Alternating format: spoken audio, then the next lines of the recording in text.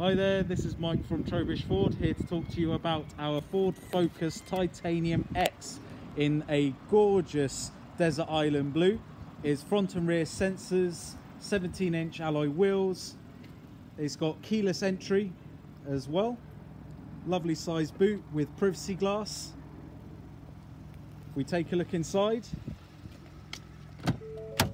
we have power folding door mirrors, standard automatic headlights, rain sensing wipers, cruise control, lane keep assist, as well as Apple CarPlay and Android Auto on the H 8 inch uh, touchscreen system.